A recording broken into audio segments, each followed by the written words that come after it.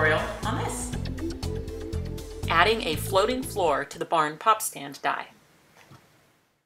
This is my project for the May 2015 Designer Challenge, which has a theme of barns, barns, barns, and I decided to use every single item in the new farm collection.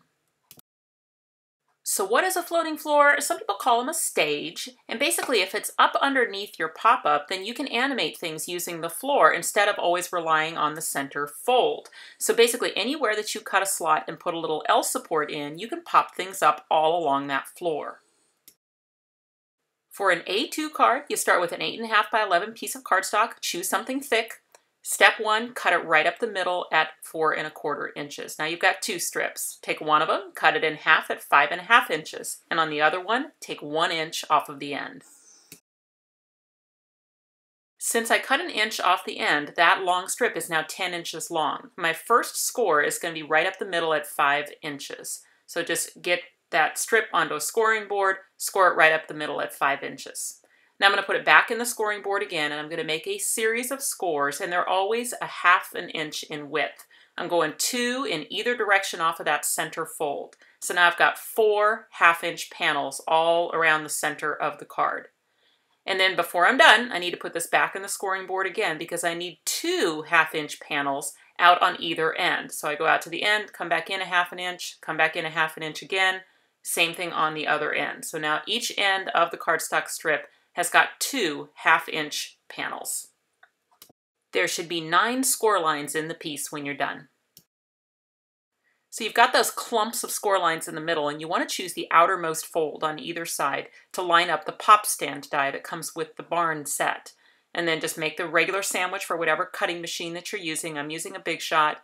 And then when that comes out, it will have cut the pop stand right around that outermost fold. Then I'm going to do the exact same thing on the outermost fold in the other direction. So I'll tape that in place, roll it through the machine. When it comes out, it's cut the pop stand into the piece.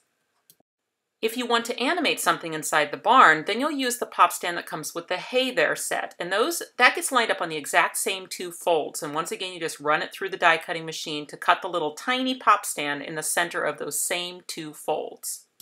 I'm going to do a little work with those small pop stands. What I want to do is I want a little mountain fold there on that one where the tabs are. Eh, that will help me locate which tab is on the outer side of the card. So I want the tab that's kind of pointing out towards the end of the card, and I want to fold that up so it's out of the way.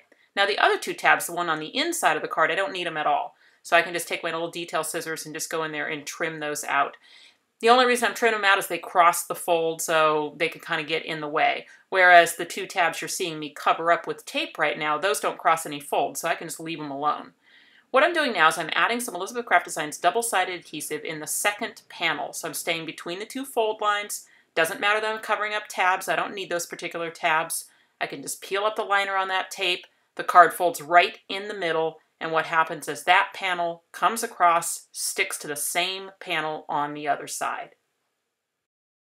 Okay, a little bit of housekeeping. I see that my tape has gotten into my little hole there. I really don't want exposed adhesive in a pop-up card. That's not your friend. So I'll just take my little detail scissors in there and just trim out that little bit of tape that crossed that hole. Now by bringing those two panels together, from the top of the card it looks very similar to what it would look like if you just did a regular pop stand card. You'd cut those pop stands in, you'd have the tabs on both sides of the fold. But then, because we built that little structure underneath it, if I go in with my trimmer and just trim the fold, so all I want to do is just make that fold not a fold anymore so that it's cut, then I can fold one section one way, one section the other way, and I've made a little support structure in the middle of my card for the floating floor. Out on the ends, I've got the little support structure in place. I just need to take the two folds and fold them both to the underneath side, and then you'll see the floating floor will sit in the middle on that little I-beam, and then out on the ends on those little fold under tabs.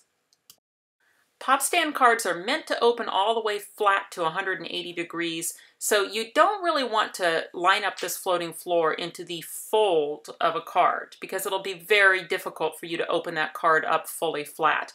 Rather, what you're going to do is add two halves of a card. So what I've done is I've added some of the Elizabeth Craft Designs double-sided adhesive to the bottom of my center support.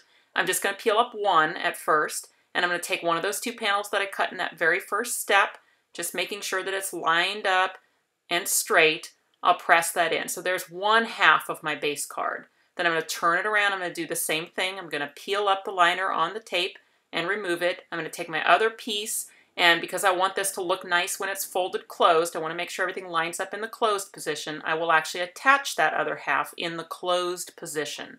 Just line it up, press it on. I've got the fold in place from the little I-beam in the middle, so I don't really need a fold in a fold. I can do it just like this. Now look how nicely it'll fold all the way open flat. You've got no tension in that fold those outer panels are going to fold under and support the floor on the outside. So I'll need some Elizabeth Craft Designs tape in that outermost panel on both sides. Although you may think that you could just kind of eye it and put it into place when the card is up and open, it really is much better to do it this way, which is to make sure that it's going to fold flat by folding it flat. And notice that I'm folding on the gold cardstock line, okay? So not next to the tape, but the next panel up. And so that gold cardstock panel is visible as I peel up the tape and press that side down. And I'll do that again on the other side. So I'm not folding on the outer panel, I'm folding the next panel in. Lay that flat, peel up the liner of the tape. I notice my tape has kind of overshot the edges a little, so I'll just pull that back in. And then holding everything flat, just close the card and give it a good press. And now that card stays nice and flat in the closed position, but when you open it, the floating floor pops up. I'm stamping some grass just kind of randomly with some butterscotch ink around the floor of the card. I will tell you that that stamp's probably 20 years old, so just use something similar.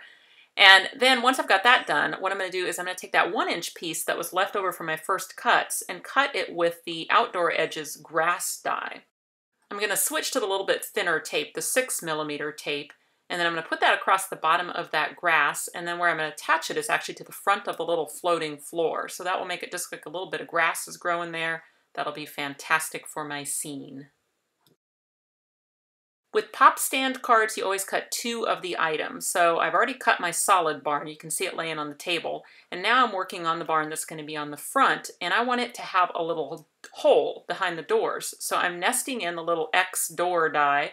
And that will cut me a little rectangle into the front of the barn that I'll be able to see through when I open the doors. Now I'm going to assemble the barn. I'm putting the roof on first. I do love using my little fine glue for that.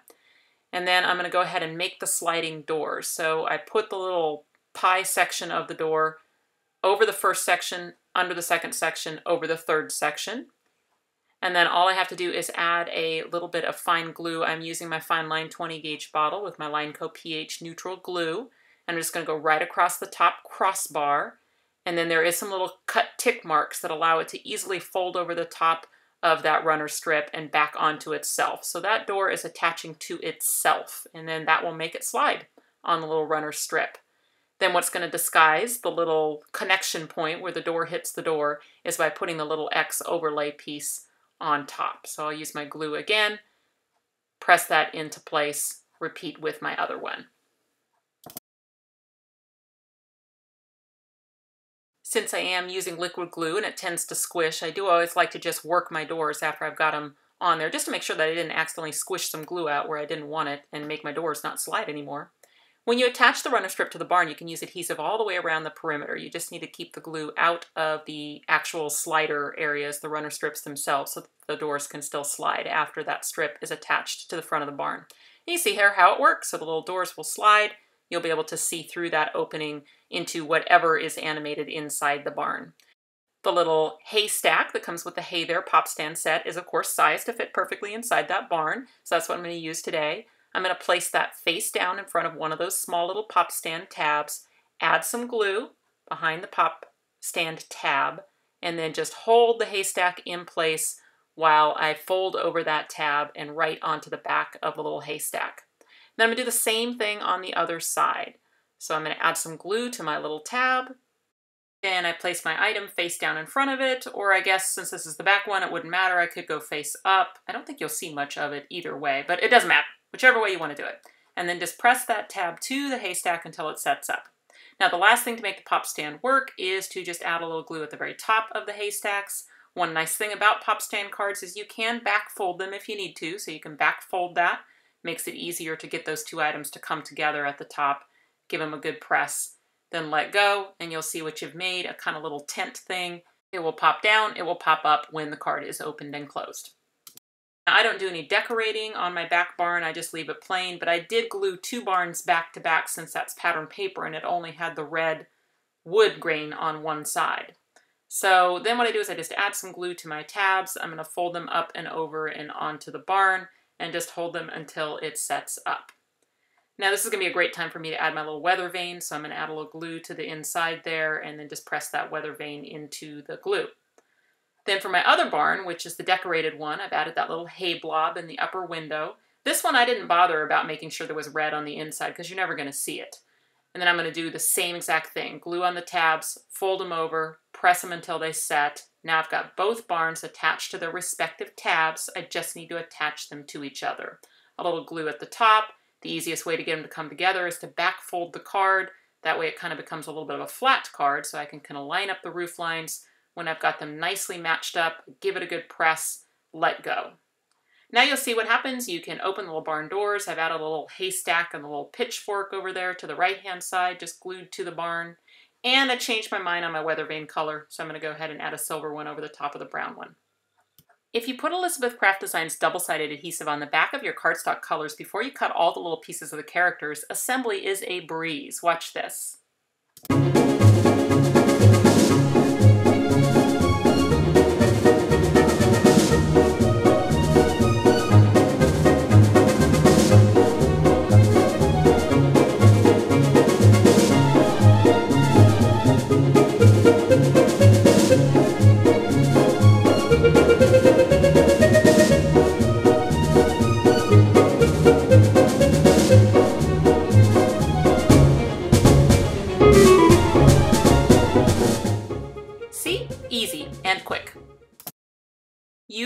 Items anywhere along that floor to have them pop up. But when the card is closed, they're going to be face down in the card and they're going to move towards the end of the card a half an inch because that's how tall the floor is. See, when I push that floor down, notice it moves everything towards the end of the card about a half an inch. So just make sure on your taller items that you're coming into the card enough that they won't stick out when the card is closed. That will not be an issue for Cheapers the chicken. He's well within the card. But for Brownie the cow, behind the barn, now, items behind the barn are going to lay down on their back when the card is closed. So for him, I may want to just check here. If I kind of push that floor down, he's going to move up a half an inch, and I just want to make sure he's still within the card. So that's the closed position. I'm going to give a little pencil mark where I'd like Brownie to be animated. I put in the L support for Brownie, and I've got him animated there in the back of the card. And now I'm going to show you the process as I do Cheapers the Chicken. I'm taking a thin piece of cardstock. It's probably only about a quarter of an inch thick.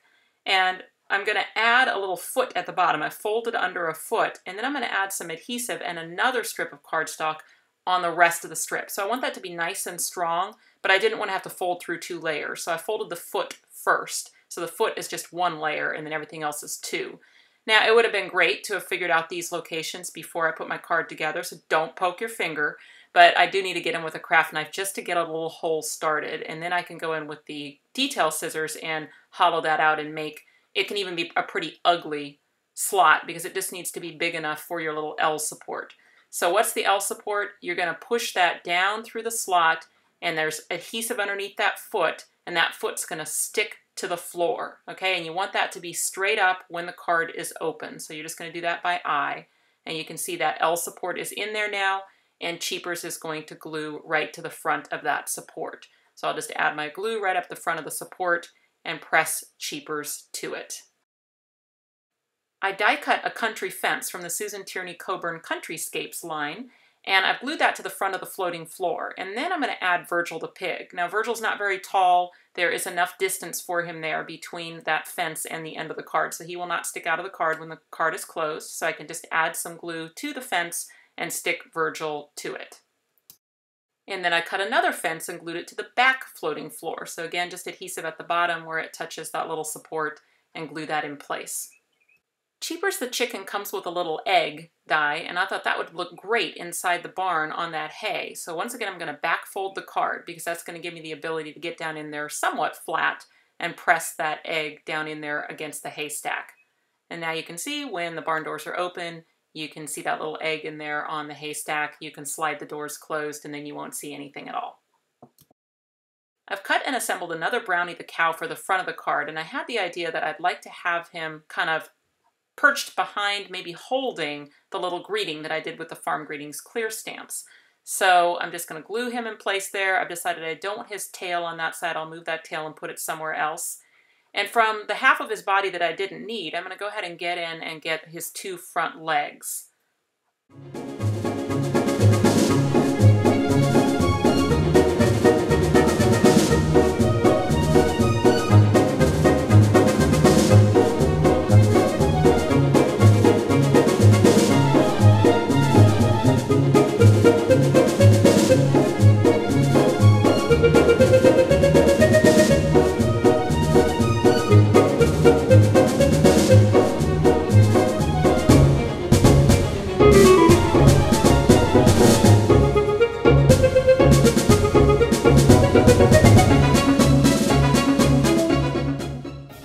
Look to have a character just kind of holding the greeting on the front. Speaking of the greeting, I used some selective inking and then I used part of the cow chalkboard greeting and part of the chicken chalkboard greeting to make my own little phrase. So here's the card all finished up. It is an A2 size. When you open it up, you can see the whole scene. The only thing I added inside was the just saying hey greeting that was stamped and then cut out using the little stitched label that comes with the Hay There set.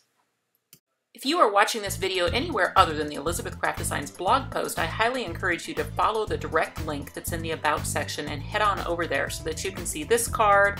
I've got a diagram of the folds that you need for the floating floor. You can find all of the other barn cards made by the Designer Challenge team for this month's challenge. It's just a wealth of wonderful inspiration please like my page on Facebook, Karen Burniston Designer. I post daily inspiration. You can find out where to buy the farm collection at ecraftdesigns.com, and you'll always find more ideas on my blog, karenburniston.com. Thanks for watching.